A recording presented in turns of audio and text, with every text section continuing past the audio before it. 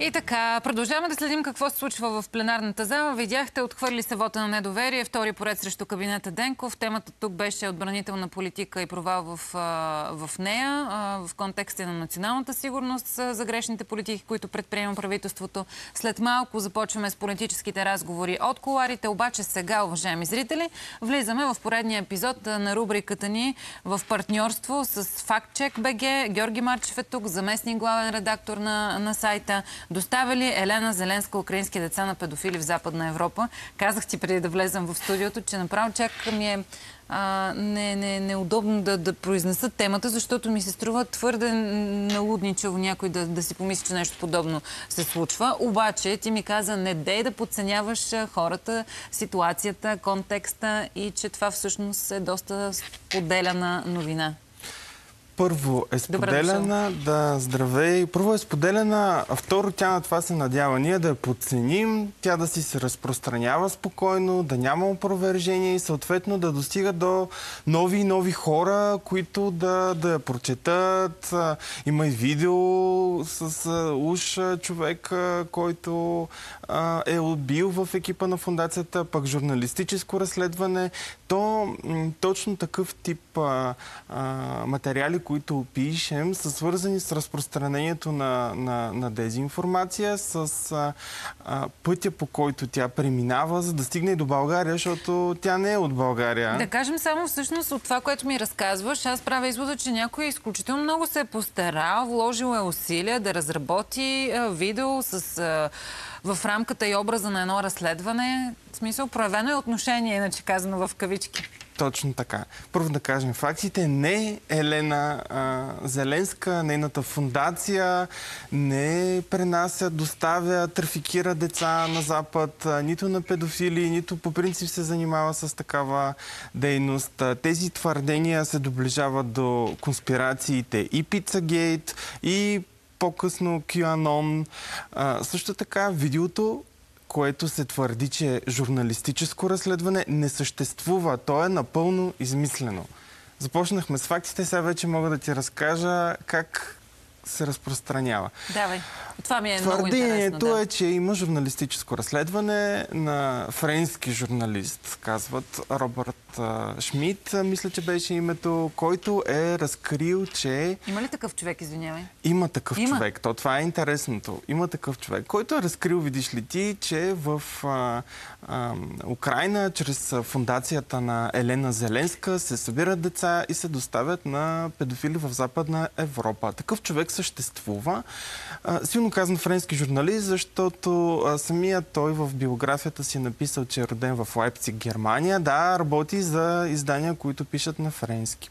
YouTube канала, който публикува видео, в което се вижда маскиран, анонимен човек и с името на този журналист разказва тази история. Но той е маскиран, защото не е, разбира човек, се, нали, знаеш, всяка добра история, в кавички добра, изисква да има мистика, да има нещо загадъчно, защото лошите, злодеите ще ни навредят, ако ние си покажем лицата. Да, това е легитимен инструмент в журналистически разследвания, знаеш, при хора, които са с, а, подложени на насилие, по някакъв начин са в рискови групи и не бива да им се показва самоличността. Но ето този легитимен журналистически подход, такъв какъвто наистина съществува, се използва против демокрацията, против нас и някакъв човек заснел себе си или някой го е заснел, не се разбира от видеото, с маска, обяснява как До той този е бил... човек стигнато ли? В смисъл, този човек знае ли, че е използвана самоличността му? Той не се вижда, то се вижда на това видео сега... А журналист ли е? Това, това име журналистическо, го... от журналистическите среди във Франция ли е? Това а, заснетото лице да. не се вижда. Е, сега ще го покажа. Не, не, говорим за самоличността на истинския човек. А самоличността на истинския човек, той си е журналист, журналист работи е, си в... Известен е...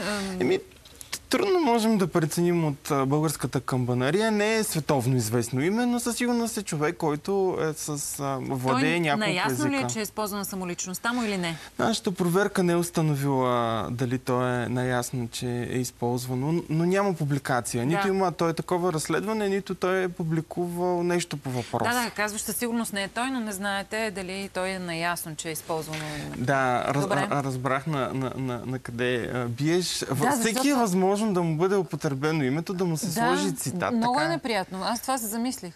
Ами, то вероятно се е случвало Ужас. и, в, а, и на теб. А, това е а, също подход, Случва ми който... се само за реклами за отслабване. За реклами за отслабване. Хора не рекламират такива неща. Преди много време, в, да. в а, цялата тая работа най-важно е лицето. Тоест, за да подберат те извинявам се, или някакъв друг журналист, той е вследствие на това, че имате някаква популярност и съответно използват вашата популярност, за да достигнат до повече хора. Тъй като този, това твърдение се разпространява в а, и френскоязични медии, вероятно този човек има, ето го, показвам ти го видеото, Да. в което е анонимния а, маскиран, тъй като този а, човек очевидно публикува, този добре се е журналист маскирал, да. да публикува и на, и на, и на френски язик, използват популярността му, за да развият а, тази а, история. Сега има един много важен детайл, като стига в България тая работа, тя, че освен, че се разпространява ето тук в тези места, които показвам, отива и в едно много интересно издание, което се казва Newsfront. Newsfront е единственото издание, което пише на български език и е напълно доказано от службите, че е финансирано от Кремъл.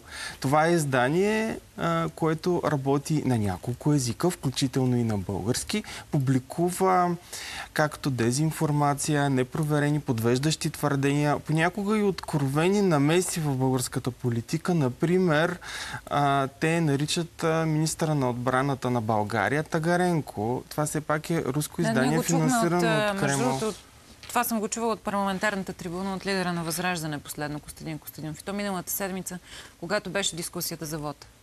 Еми, Той го нарече така Тагаренко. Използвано е в Newsfront, което е свързано с а, а, Кремъл и очевидно... Просто се сетих, че съм го чувала и на друго място. Да, ние не можем да. знаем дали има връзка, разбира се. Сега да не остане впечатление, че тук някак си не, не искаме да, да, да кажем нещо. Ние нямаме доказателства има или няма връзка, просто казвам наблюдение в а, работата ни. Как издание, което е доказано Да. от а, службите, че е финансирано от Кремъл, някакси понякога се намесва в българската политика. Та това цялото издание, затваряме скобата. Да, на финала сме. А, също е написал по, по темата. А, на финала да кажа, цялата тази история с Пица Гейт и а, QAnon много се доближава до тук твърденията, че Елена Зеленска доставя деца в а, Западна Европа. QAnon и Пица Гейт е, припомням, че сме говорили и друг път, а, твърдения как Демократическата партия в а, САЩ а, преди години по времето на кандидатирането на Хилари Клинтън за президент се разви Пицагейт и твърдения как тя, нейният екип в мазе в пицария а, пият кръв или сексуално експлуатират Да. или по всякакъв начин а, а, имат а, лоши намерения към деца. А QAnon е организация, в чиято основа също стои такова вярване, а нейните последователи пък а, влязоха на 6 а, януари а, 2021 в а, Капитолия. Капитолия, да. Така че не е безобидна тая работа, е хубаво да я опровергаваме.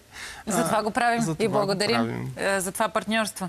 А, благодаря ти за това, че беше тук тази седмица. Ще се видим живи и здрави и следващата, надявам се, с още любопитни факти, които оборват неверните твърдения в медийното пространство, в социалните медии също. Георги Марчев, заместник главен редактор на Fact Check BG. Поглеждаме към коларите на